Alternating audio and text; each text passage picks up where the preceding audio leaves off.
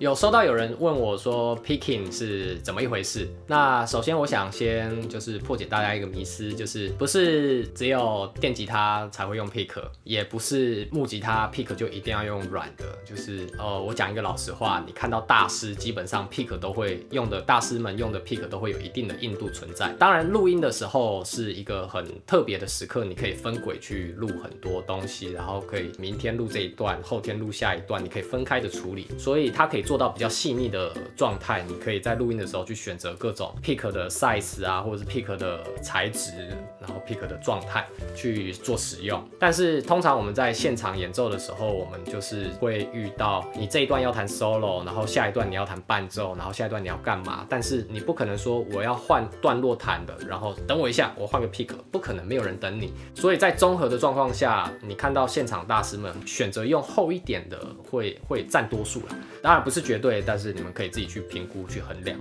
Pick 的操作上面的话，大家就可以去练习交替拨弦。确实，在很多状况下，它会是非常好的结果。那我基于一个原因，我也会特别推荐大家练交替拨弦，就是节奏的状况。因为如果用交替拨弦的话，它会很固定，到哪一个拍点，你就要做下拨或上拨的动作，所以它会让你的动作变得很固定。那也因为这个固定，你会很容易待在同样的动作状态里面。那也就是说，同样的动作状态你就一直做，那你的拍子不就在这边了吗？所以它会很容易利用这个动作的状态带入你，引导你去感受节奏的状态到底是什么。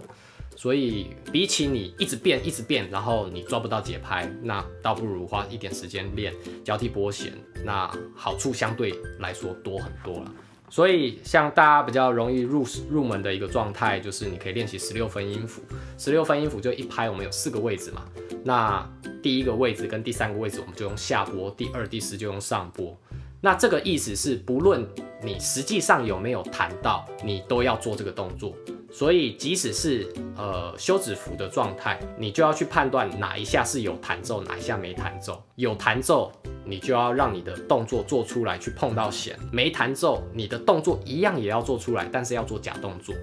所以假设现在有一个拍子，你判断它是十六分音符第二个、第三个位置要弹，也就是乙跟 and 的位置要弹的话，第一个、第四个，也就是 one 跟二要休息的话，你的动作就会是假动作，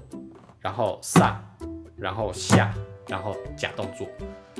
所以你就会发现，只要在这样子状况下。你光看我的动作，你都会知道拍子大概到哪里，所以它会是一个很方便的状况。那再假设下一个，假设我们的拍子变来变去好了，第一个拍子是二三，第二个拍子是一四，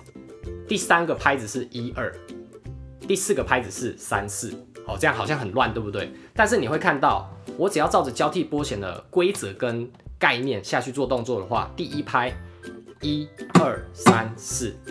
第二拍二。二三四，第三拍三二三四，第四拍四二三四，你都是照着规则做，而且你做下来都是这个样子，对，所以你就会很容易在状况里面，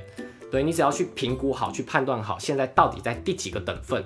然后他有没有要弹，你的手都一样这样做，你的手到底在第几个等分的时候要碰到弦，你只要判断好这一个，然后就一直做。你就会在拍子里面，所以像刚刚那个节拍，如果顺畅的弹奏的话，它就会长这样子：one e n 二 two e n 二 three e n 二 four e n，有没有？你就会发现我的手都一直在做这个动作，它就可以帮助我引导我在节奏状况里面这样。